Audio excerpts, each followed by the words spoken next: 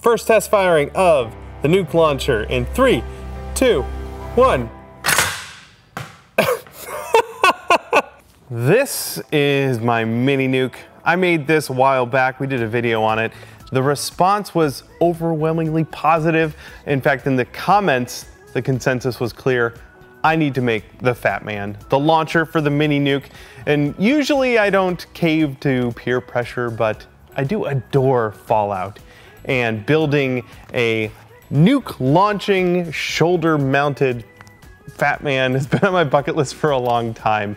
Uh, really anything from Fallout would be fun. I love it so much. In fact, I know that you probably love it too. And you probably got a favorite prop from Fallout. Uh, in fact, if you can think of a good one, let me know down in the comments. I want some more fun ideas. Uh, but today, we're making the Fat Man. On top of that, we're getting some help from our friends over at SureBonder. They are sponsoring this video. They also sent us a bunch of really fantastic tools and materials for the build. Those are gonna be really handy when we do some foam fabrication later on in the build. The first part of the build though is gonna be made from more rigid materials. Things are a little bit more durable so that I can make a mechanism to launch the mini nuke. You heard me right.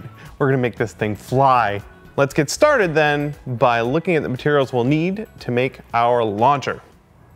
I've already started doing some shopping. These components here are for the frame of our nuke launcher, and the main component for that is going to be 20 by 20 aluminum extrusion. The first thing I need to do is to take two of these and attach them together. To connect all our parts, I picked up some of these connectors. They have four uh, set screws in them and they get threaded through there. Then when I slide these together like that on either side, I can tighten those and that securely holds these two parts together. I'm gonna have other attachments that will help uh, besides these, but this makes sure they're nice and lined up, which is awesome.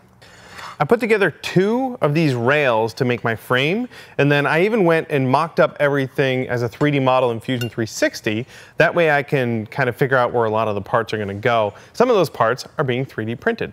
In fact, they should be all done. Let's see how they turned out. Okay, where's my part? that looks awesome. Oh, there was a handle. Very good. Let's get to work. Here's my main part. This is eventually gonna hold the trigger and there's a spot here for the handle, which is going to go in that. That's the handle hole. so eventually it'll be like this, but for now, I'm really worried about this part because I'm gonna use this to hold parts of the frame together. In Fusion, the sketch I used to make this part, I was able to export and print so that I could use this as a template to make some additional parts out of aluminum. This is 1 8 inch thick aluminum. I use these to punch all the holes in the correct location. And this will eventually be a sandwich between my rails and the 3D printed part to kind of hold everything together. Uh, I do need to make a couple more of these for the ends of my rails here. So let's go do that.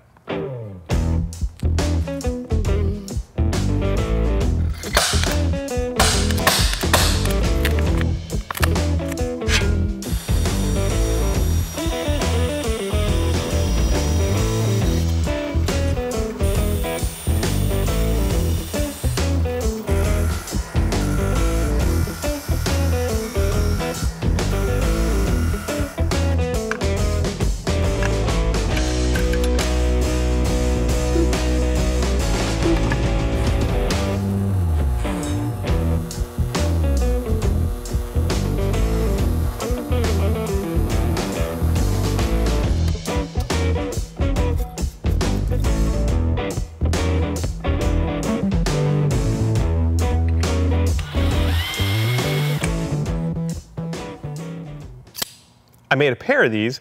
They're gonna head down to our rails here, and I'm gonna use them to hold them together. To attach them, I'm gonna use these special nuts that I got and uh, M5 screws.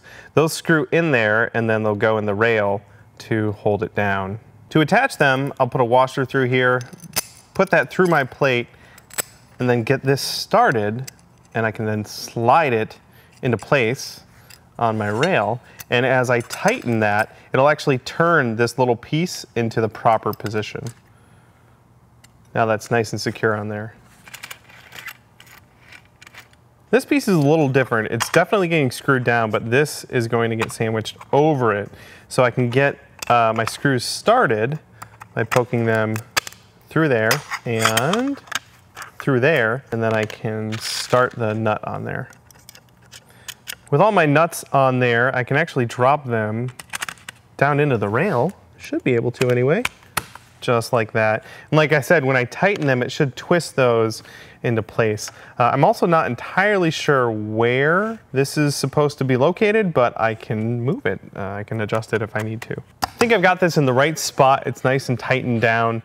Uh, let's focus on the top now. This is going to be the surface for launching our mini nuke downrange. In fact, here's the one we made in uh, a video a while back. And then Brittany made one that's all foam. We'll paint this in a little bit. Uh, but this is going to be the one that we launch. This one has PVC pipe on the bottom. That might hurt if it hits me in the head. Uh, so this is going to be our ordnance. It's going to go down that way. And I cut out another sheet of aluminum to act as a sled. This is what's going to get pulled down the rail and this will be resting on top of it in some way, launching it that way. My thought is I can use more of these screws only upside down and it'll go in the rail like so. And then that will get screwed into our sled, uh, which means I need to tap these holes. I have an M5 tap all loaded up here and it should just go right through.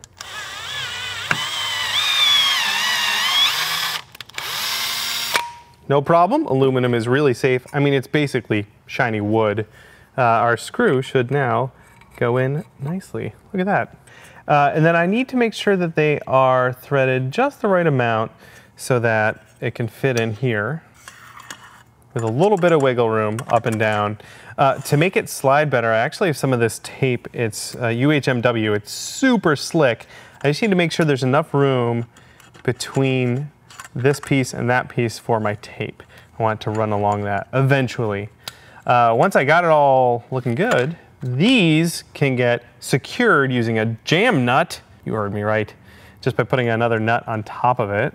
Oh, it's super simple, there we go. And then as I tighten it, that screw can no longer spin freely and it won't go in or out, so it's, it's set. My plastic tape is gonna go across this way and the rail will go that way. So I'm hoping that only this and this are touching down so there's as little friction as possible. Um, I sanded and cleaned that spot there too so that the adhesive on this will hopefully stick really well. Let's find out. There we go. And uh, I cut it too long and then I'll trim that after uh, it's stuck down. Let's give it a shot. Oh, that's nice. That's really nice. Uh, before, the metal on metal was very loud and you could tell there was a lot of friction there.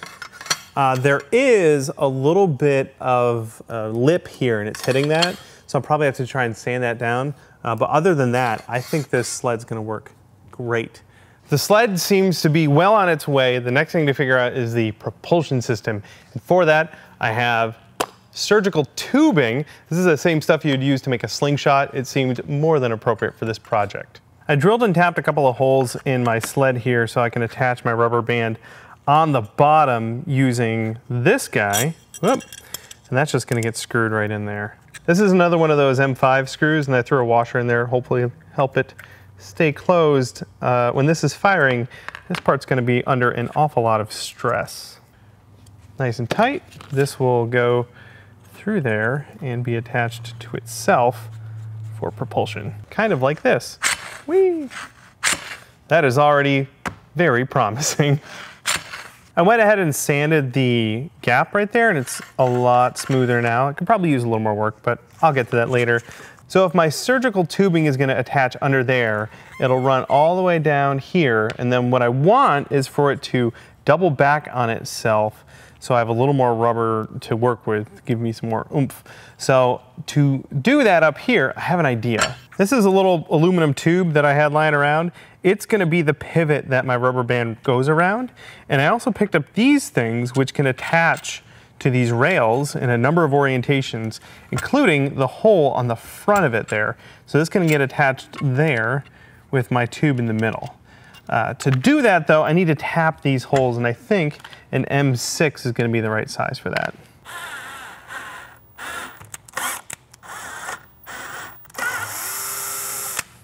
And that'll get screwed in like that. Cool. Okay, so now this tube should fit between them. And then I can run a bolt through there, cap it with a nut. The tubing will go around there. This will go to the sled.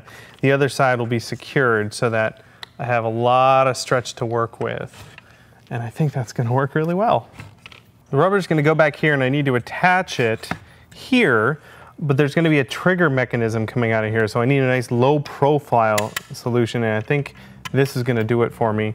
Uh, I thought about just having a, a straight bar, but I don't want this kind of on an edge like that. I want a bigger radius. So this part I'm gonna bend over to make a nice round part for this to go over. I'm gonna just leave the end of it exposed and bend just that part. And to do that, I'm gonna use a sophisticated method known as smashing it with a hammer.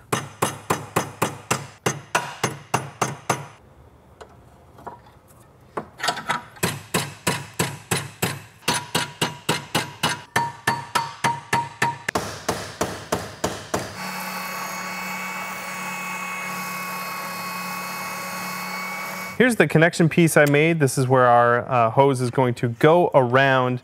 That'll get zip tied there. And I'm probably gonna have to zip tie it around there to hold it. Now it could go this way or this way. Uh, if it's this way, it actually blocks this. I can't really put anything in there because my sled needs to go down in there. It'll collide with that. So it has to be oriented that way. I have a trigger mechanism that's gonna come out of here and I may have to just bend that bar around this. I'll just deal with that later. For now, it goes around there. And then before securing it, I wanna stretch it and then I'll just use my extra set of hands to secure the zip tie. That's nice and secure so when we pull on this, it's not gonna unravel. That is super secure. The other end's going through this part on our sled, which I have taken off the rails for now. This sled is off the rails, man. That will also get zip tied right there. Here we go. This makes me so nervous. it wants to go.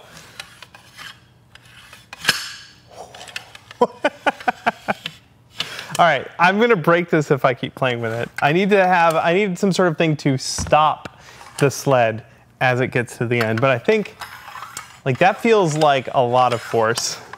okay, I'm gonna cut this short. Great.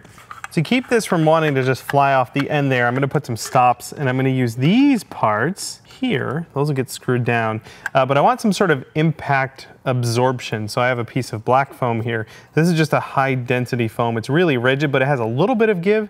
You could probably use rubber or something else, uh, but that's gonna get screwed onto that to be a, a bumper for us. There we go. That'll go on there. Looking good so far. There's enough room on the bottom for our aluminum plate to hit, and that's kind of what I was aiming for there. Beep. Beep. So that'll bump against that. Uh, there is a little play here. I'd rather this be tight, but fortunately the other end where I secured this can be loosened and then slide it back until it's tight. And the sled is now nice and snug against those bumpers. Let me tighten it down. And that is our propulsion system ready to test. Let's see how this feels. The lock, when there's a trigger, will be about here. So testing the sled rubber band in three, two, one. That seemed pretty substantial. Let's do it again. That was fun. Three, two, one. Yes. Now, I don't know if that's enough force to send our uh, little football shaped ordnance downrange. We'll find that out later, but I have a pretty good feeling about this. The next thing I need to do is figure out the trigger so that I can launch it like a normal rocket launcher and not like a slingshot. Our foam got kind of crushed, so I may have to find some rubber to put in there. I loosened the tension on the rubber band so that I can work on this more without fear of this thing flying and taking my fingers off. This needs to get pulled back and then locked in place right about here. Uh, and then you'll pull the trigger and that'll send it flying. So I need to come up with some sort of catch to hold it and a trigger to let it go. This is what I'm thinking. Uh, I have a catch, another piece of aluminum that's gonna keep this from sliding forward. This will of course be back there, but it's gonna keep it from sliding forward. And then when you pull the trigger, it'll rotate and once it is free, it should send it forward like, like that, only with much more force. Uh, to keep this from rotating that way so that it holds it in place, I have another piece that I'm gonna screw to the frame right there so it can't rotate backwards. One thing I do need to do is make a bushing for this axle so that it can spin freely. So I think I'll do that now over on the lathe.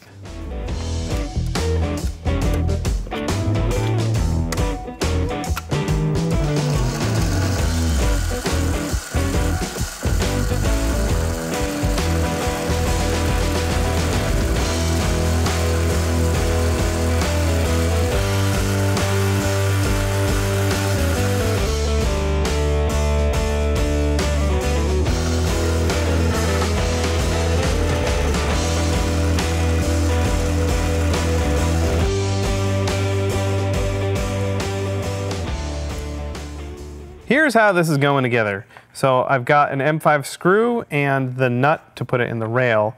Uh, I have some washers and then my little bushing here goes through there. And then this is gonna go that way, yep. So this goes in there and then another washer goes on there. This way I can tighten this whole assembly and this part will still swing freely, which is exactly what we want. I can go together like that, and then this will go in the rail. What's cool about this, of course, is that I can adjust the position if necessary. But for now, we're gonna try it right here. To prevent the catch from going backwards, I made another plate here, and it sticks out a little bit on this side so that that'll stop it. And again, I can just screw it right down to these handy dandy rails. Perfect. The way this should work is this comes back, and then this locks it and it can't go forward at all. And then when we pull the trigger, it'll do something like this. That's awesome. That wasn't even at full tension either. That's with this thing totally loose. Now that this catch is pretty much sorted and working the way it ought to, I want to put a safety feature in here. Um, this is a locking pin that I want to put through the rails so that they will be in front of this pair of screws and it'll stop it from going forward so that when this is in the primed position, we can throw this in there for safety if um, we're not gonna fire it right away. Now I just need to drill a hole for this in there. That's gonna be easier said than done because there's this rail's a weird shape. So I'm gonna chew that out with a rotary tool first and then I can go to the drill press, poke a hole through it.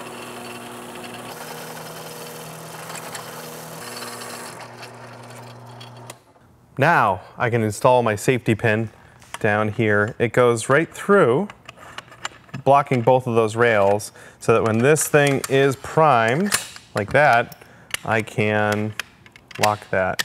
So now even if I pull the trigger, I shouldn't put my hand in the way, but even if I pull the trigger, it can't actually fire. So we are totally safe now. Now that our propulsion system is set, it's time for our trigger system. This is a sketch from Fusion that I was able to just print right out. It's gonna go in here. I've got an axle for it and everything that'll go through there. Uh, my handle's gonna be here. Pew.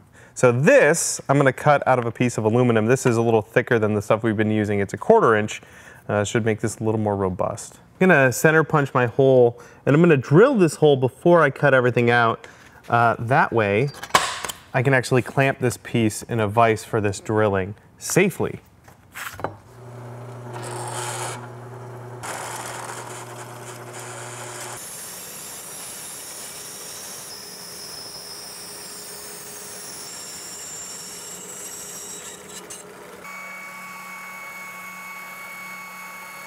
Here's my trigger and I'm ready to install it in there. And I planned for all of this to work with this aluminum rod as the axle so it can fit right through the 3D print and through my trigger and then it can't go any further. So I need to trim this a little bit shorter. I can trim it right here. Got my plastic jaws here with magnets in them so that they can stay right in place to hold my round bar stock. And then to cut it, I'll just use a hacksaw.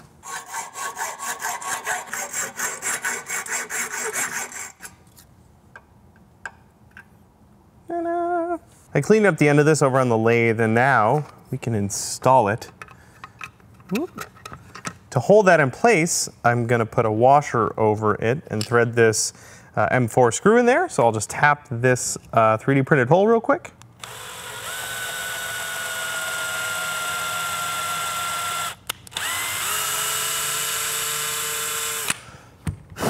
And then this should thread right in just like so.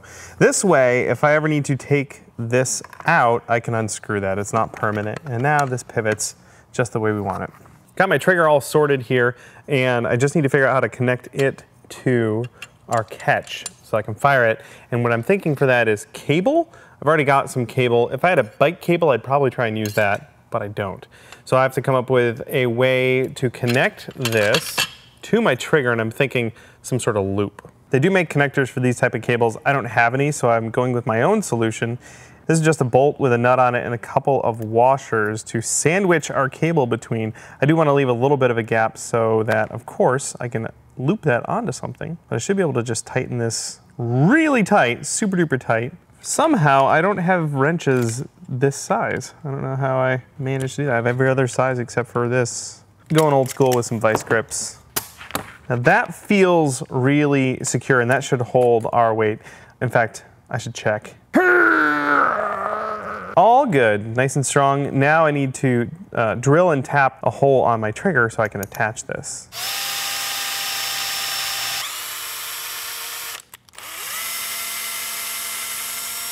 This loop can now be attached with a screw.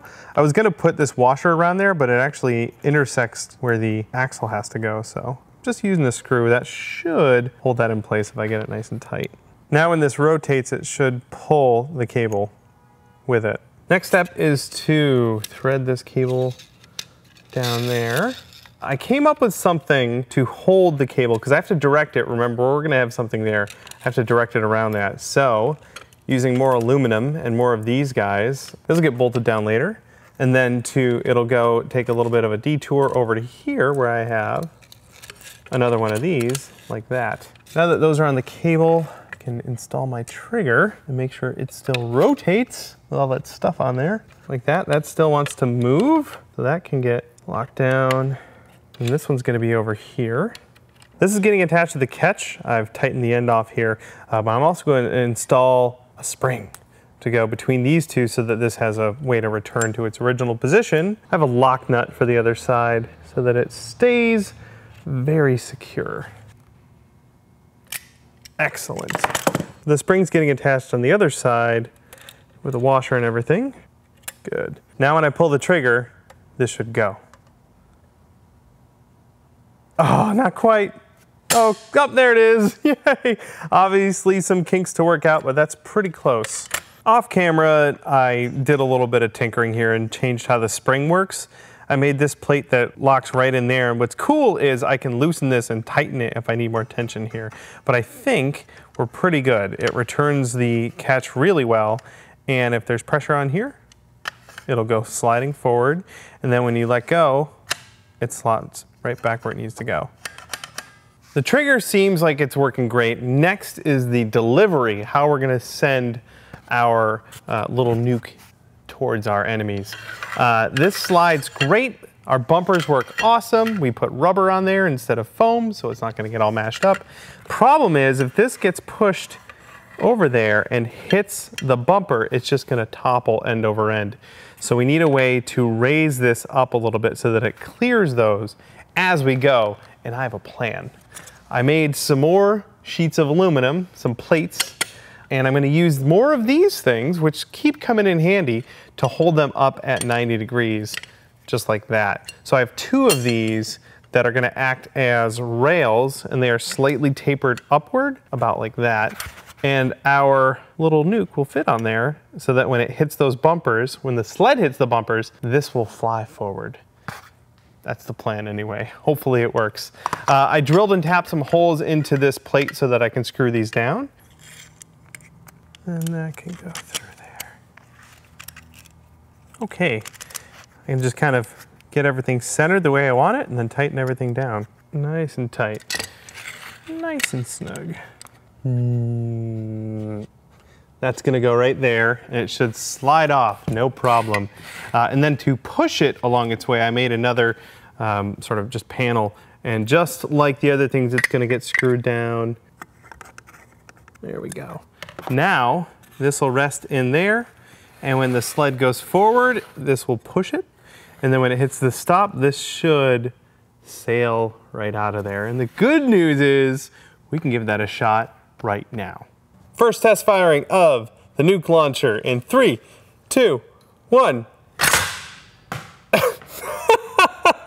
it didn't go very far, but it did fly straight.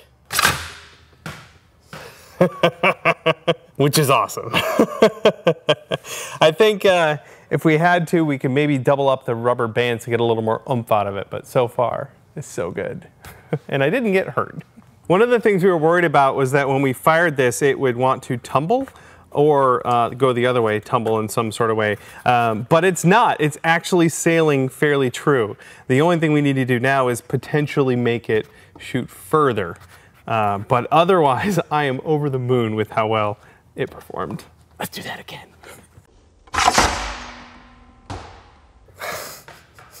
it doesn't get old. We've got our launcher firing really well. Uh, I did go in and make a couple of small changes because we wanted to see if we can get it to go a little bit further. So I did double up the um, tubing. So I have two tubes here stacked up and that does seem to give it a little more zing. We also changed this top part here where it connects the, to the sled is on the top and it's uh, horizontal, not vertical. That seems to keep the rubber bands wanting to go straight before they were kind of pulling to the side and that seemed to have slowed things down a little bit. So we changed that. Uh, I also added these fender washers here to guide our two rubber bands uh, onto this part here that I turned on the lathe, just so it's got a nice pivot for the rubber band to roll around. That all just seems to get everything running better uh, and more consistently so that it fires every time that we pull the trigger. Um, that is, I think, all of the functionality uh, that we're going to add on this thing. The next thing is to make it look like the mini nuke launcher, the Fat Man. The first piece will be the handle.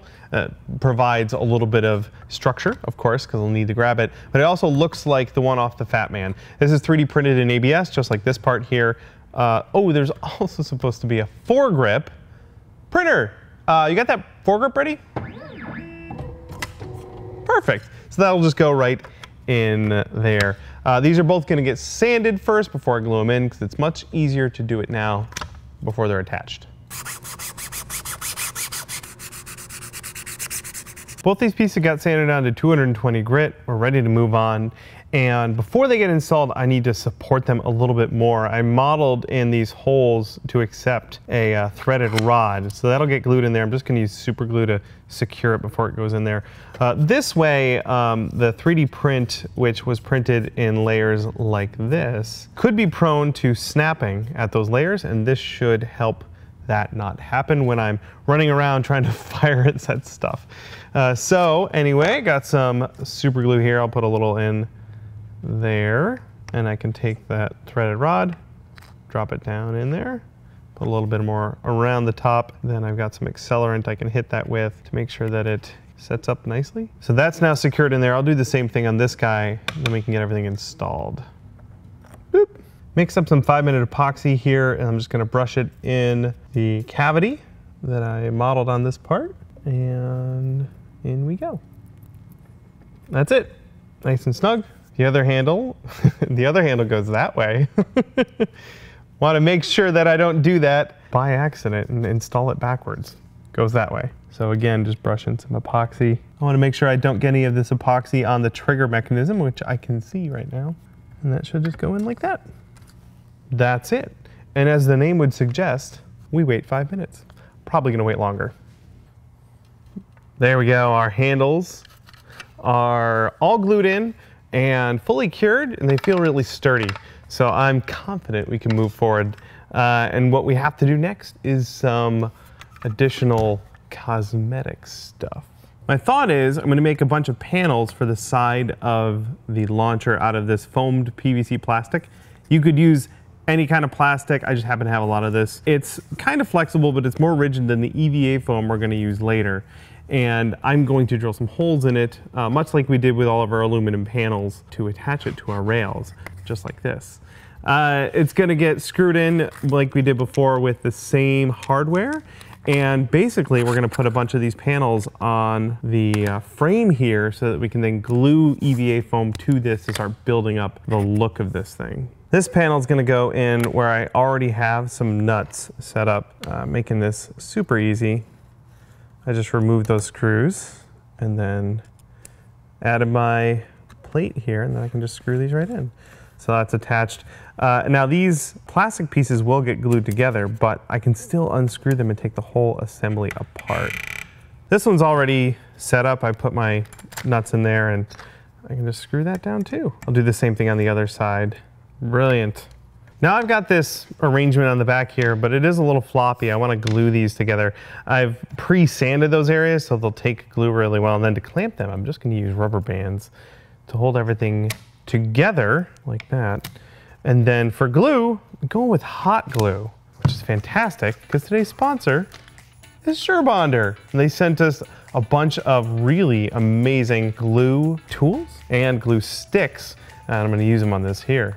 SureBonder is a family-owned business. They started back in 1968. They sell hot glue guns and staple guns and rivet tools and a whole bunch more. I'm a big fan because hot glue is so useful in the prop making shop. It's great on this PVC plastic and it's really great on EVA foam. SureBonder has a bunch of different hot glue guns. This one is the Ultra series. It's dual temperature so you can use high or low temp hot glue. You got a little switch here to change between the two of them. It has a safety fuse. It's got these side fins here so you can lay it down and it'll keep it off of your work surface. And probably my favorite feature is an auto shut off. If you leave this for 30 minutes without using it, it'll turn itself off. I don't know about you, but I have definitely accidentally left the hot glue gun plugged in overnight, and that's definitely not safe.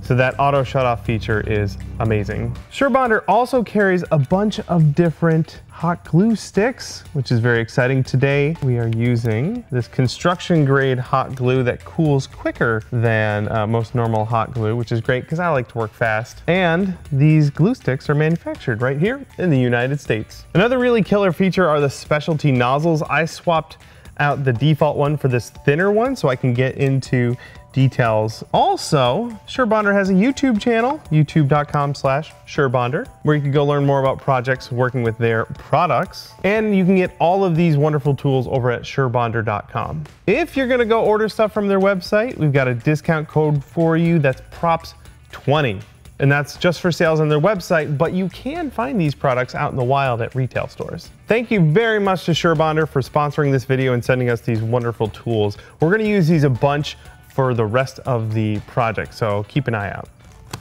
Our hot glue has cooled and this is now super duper sturdy.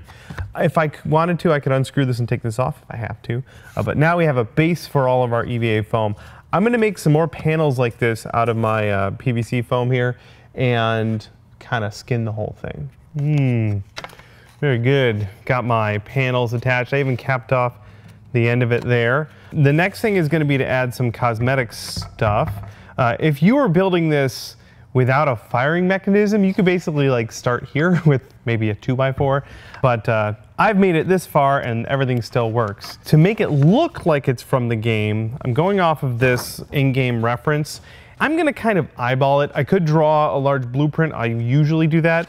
Uh, but in this case, gonna skip that stuff and just start gluing foam on here and bulking out most of these forms. There's probably a lot of design considerations I need to change to make this work around this mechanical thing. So I'm just gonna eyeball it and fly by the seat of my pants.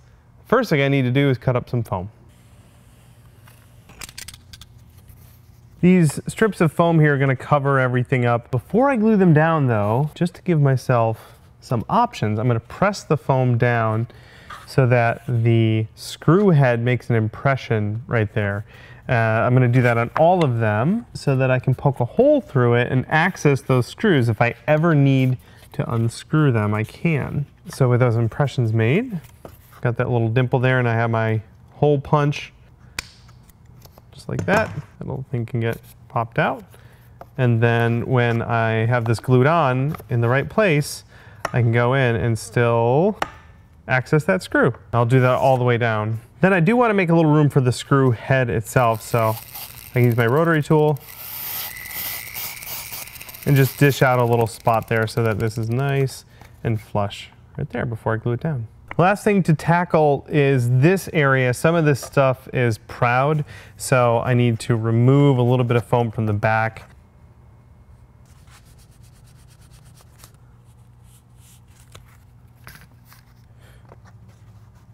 The foam is going to get locked down with hot glue.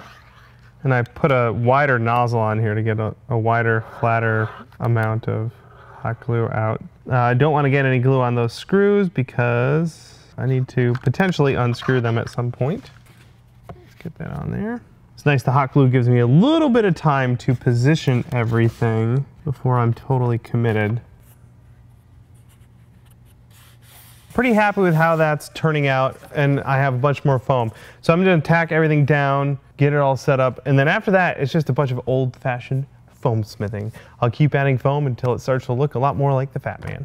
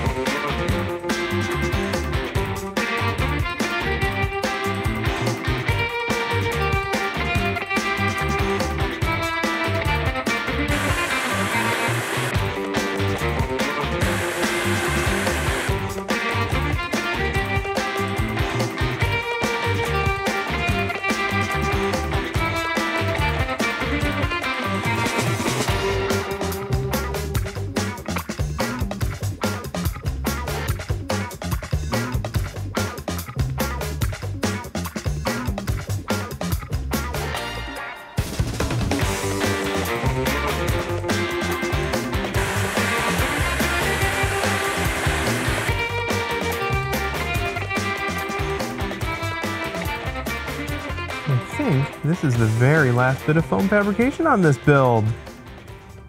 Excellent. This is looking so cool. It's just about there. Um, a couple more things to add, but for the most part, the foam fabrication is done. Uh, most of this was made out of this EVA foam. Uh, I did use a couple of different materials. Uh, this is an EVA foam uh, dowel. We got a bunch of those all over for our tubes. Um, these lower handle grippy part, those are uh, Sintra plastic. They were very easy to heat bend. And then this cage part, I built most of that out of eighth inch thick styrene plastic, which is a lot more rigid than the EVA foam. So it's keeping this structurally sound. It's all coming together really well. There are a couple more pieces that I'll need to add in a little bit. The Nuke launcher has this pressure gauge here, and I actually have an almost perfect replica. This is off of an old air compressor, and I took it apart so that we can replace the uh, graphics in here. So Brittany printed these out. I'll install those. This whole thing is gonna get added onto the launcher after we've started painting it. There's also a knob that goes on the back of the Fat Man, but that's something I could probably just 3D print. Look at that, already sanded. The rest of the details are all like nuts and bolts. So I've got these molds here, screw heads and uh, nuts. Some smaller ones I made here, these are just silicone molds. I'm gonna try casting these out of hot glue. So I've got a hot plate going here and I'm just cutting a bunch of these into a little ladle so I can melt them and then pour the liquid into there. And then once it cools, I can pop it out. That's the plan anyway. Since we're painting everything metallic, we have these black glue sticks to be the sort of base color. Should help us out a little bit more compared to the clear ones. Our goo is almost ready. It's getting really runny. I'm gonna use the heat gun to warm up our molds a little bit. That should help the uh, hot glue stay warm while it's going down into all the detail in my molds and hopefully avoid getting air bubbles. Here we go. We threw these in the fridge for about 10 minutes to cool down and let's see how they look. Hey, that's pretty good. Not perfect, but our Fat Man's supposed to look all old and rusty, so this is pretty great. Here's one of our hot glue nuts, and I'm gonna attach it, of course, with more hot glue.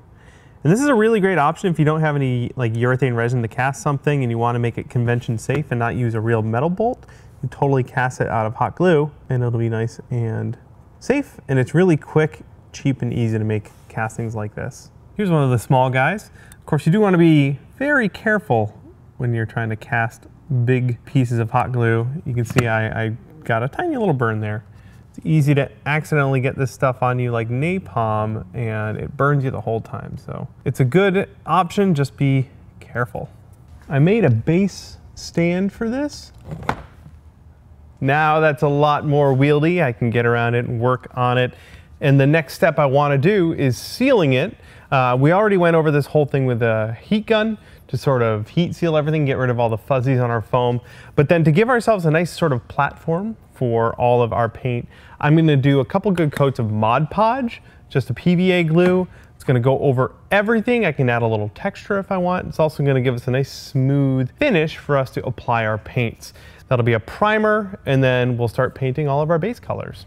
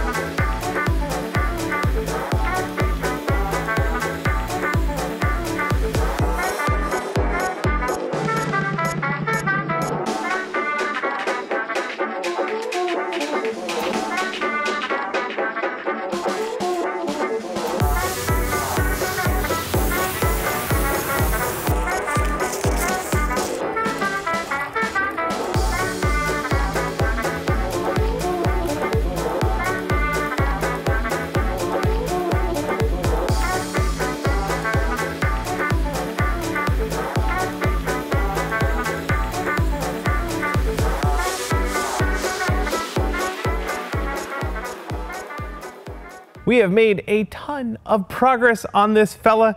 Did lots of painting of all the base colors. We got a sticker right there on our tank. Looks super legit. Even attached some of the remaining parts like the uh, gauge on one side. There's a knob down on the bottom. Everything is attached and we got all the base colors down.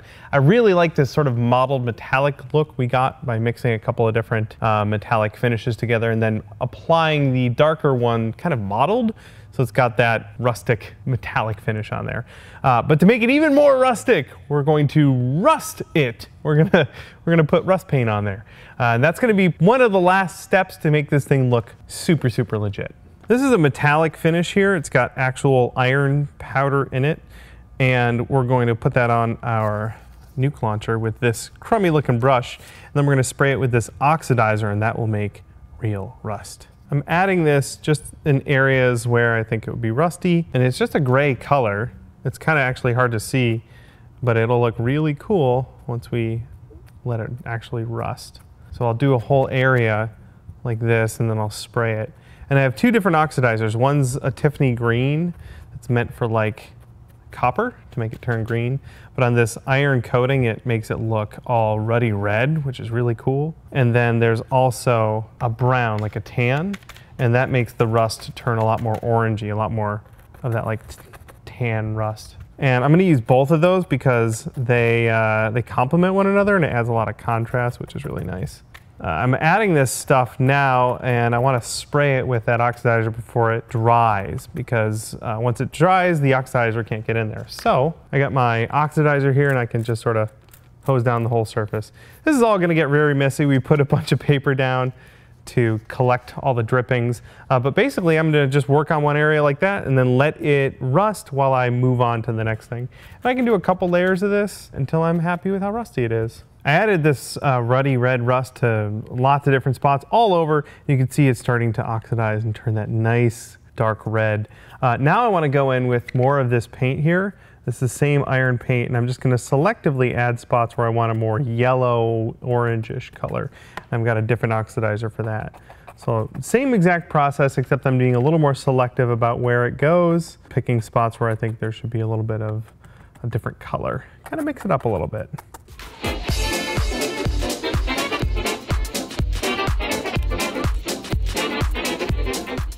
How cool does this look? It's so legit. Uh, it's also real rust, so I'm gonna coat it with, um, this is just a matte finish here, a clear finish, so that I can protect that finish, but also so I don't get um, any rust on my hands.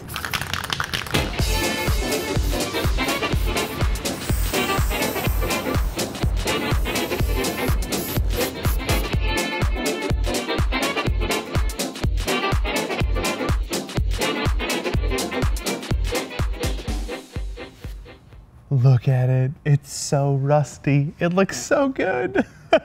it's harder to get a more legitimate rust finish than with this particular process. Uh, there is one more thing we need to do though. This needs to be dirtied up a little bit more. I grabbed my water mixable oil paints here to do some weathering. I just want to darken all the crevices as if after having been rusted, it then got more dirty. Uh, so I'm just going to use these guys to just get in the crevices a bit. Just got black and brown here, and I'll mix those together with a little bit of water.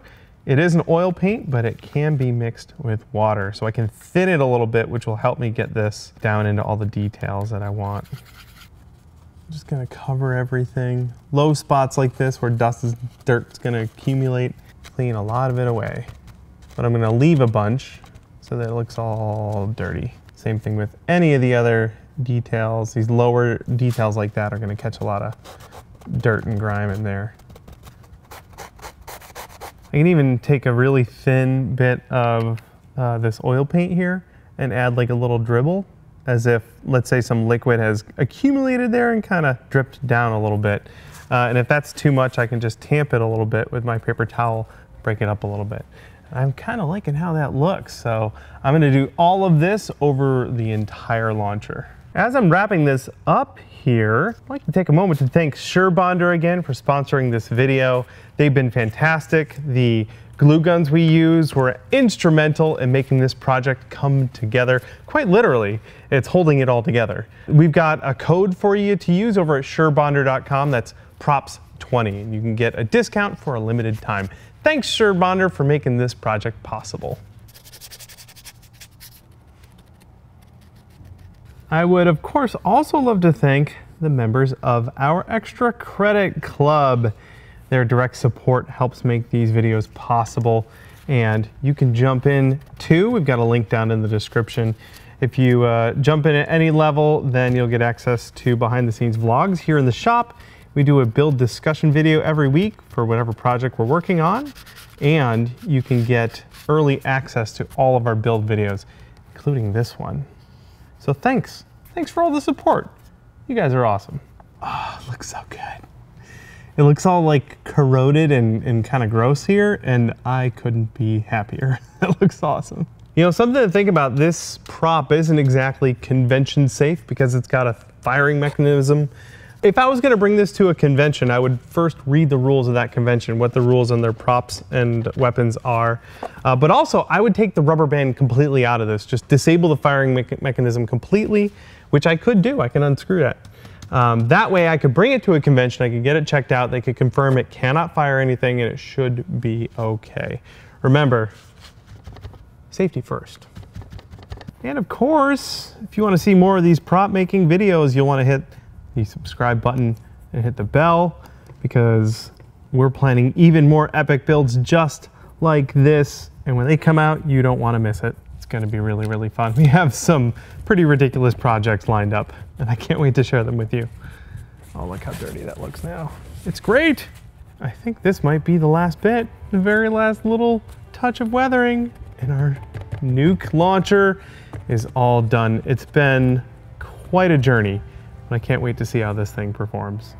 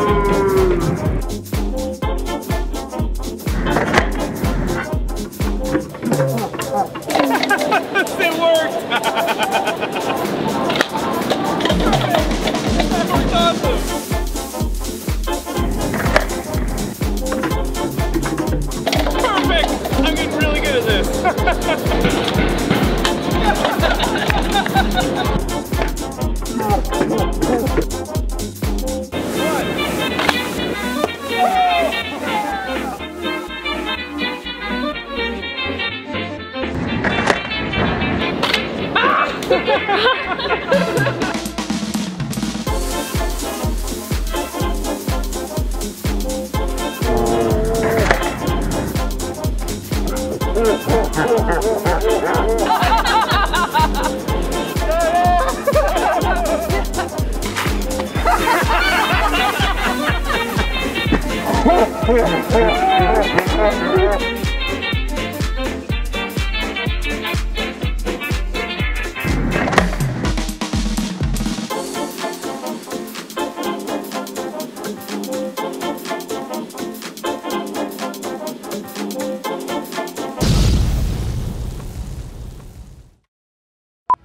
I need that foregrip.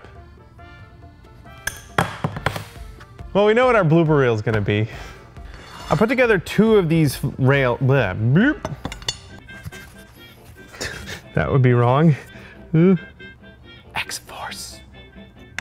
Come on, fingers.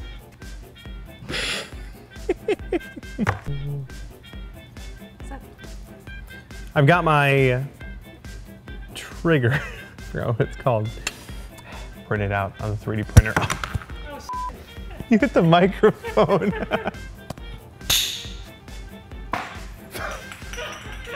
Where'd it go? Got my spritz bottle and I'll just